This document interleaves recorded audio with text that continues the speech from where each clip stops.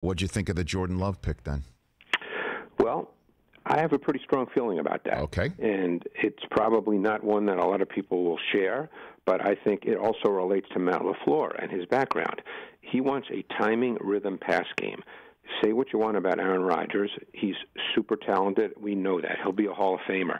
But Aaron Rodgers, over the last number of years, has evolved, or one could say devolved, into a player that plays a lot outside of structure and outside of rhythm. And when you get a chance to watch the coaching tape, as I do, and this is not an interpretation, this is what the tape tells you he leaves a lot of throws on the field within the timing of the offense that are there to be thrown. And I guarantee that that bothers Matt LaFleur. And given the age of Rodgers, and, and who knows how long Rodgers can play, the age of Rodgers and, and Matt LaFleur clearly coming off last season, having probably pretty much carte blanche at this point, I think he's looking to say, hey, I'm going to start to put this offense together the way I want it to look. And while Rodgers is great, I'm a little frustrated with the way our offense plays out. And uh, that's just my personal opinion again, but I, I feel pretty strongly about that. So, okay, uh, I'm going to follow this strand here. You're saying that LaFleur had a year of evaluating Aaron Rodgers, and thus yep. we should view the Jordan Love pick through that that prism. Is what you're saying? Yeah, think of it this way: two years ago, Garoppolo got hurt in San Francisco, and Nick Mullens came in. And I'm not suggesting Nick Mullens is a Super Bowl quarterback, but he executed the offense at an NFL level. Okay? Obviously, the 49ers didn't win a ton of games. They had other issues two years ago as well. Jimmy Garoppolo this year, who, by the way, not a lot of people think is a great quarterback by any means, came in and say what you want. That team got to the Super Bowl. So Jimmy Garoppolo was the quarterback of a Super Bowl team. So I think Matt LaFleur comes from that school. Let's get a quarterback who will be a ball distributor, will execute the offense as it's structured, does have second reaction ability when needed because it is needed at times in the NFL today for sure, which Jordan Love, by the way, does have. And let's get that kind of quarterback in here. In other words, when I work 18 hours a day and put my offense together, I would really like it executed that way. And while Aaron Rodgers is as good as there is and making certain kinds of plays, he leaves a lot of throws on the field that are there to be made, and that's very frustrating for a coach. And yet, if LaFleur is coming from the Kyle Shanahan system, Kyle Shanahan's team is the one that traded up to go get a receiver in the first round, not a new quarterback.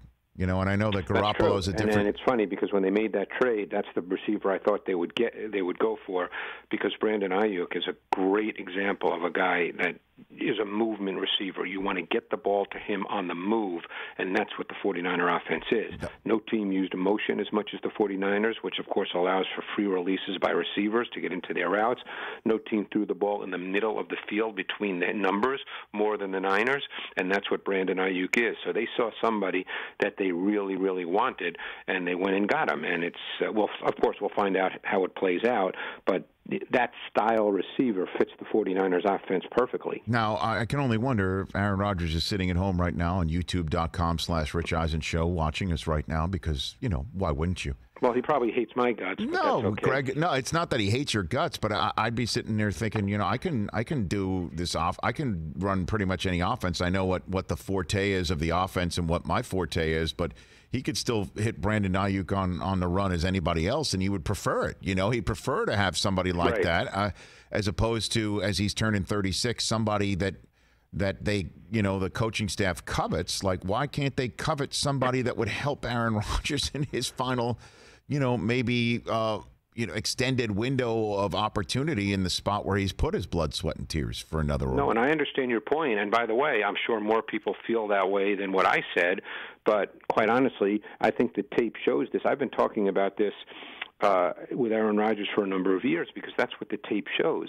And again, then you have to you get caught up in always feeling like you have to qualify it because clearly Aaron Rodgers, from a talent perspective, is maybe as good as we've ever seen in the game, and the, some of the plays he makes only Aaron Rodgers can make. Tape shows what but, though? So yeah, what are you referring to about the tape that, that that that plays into all this right now, Greg?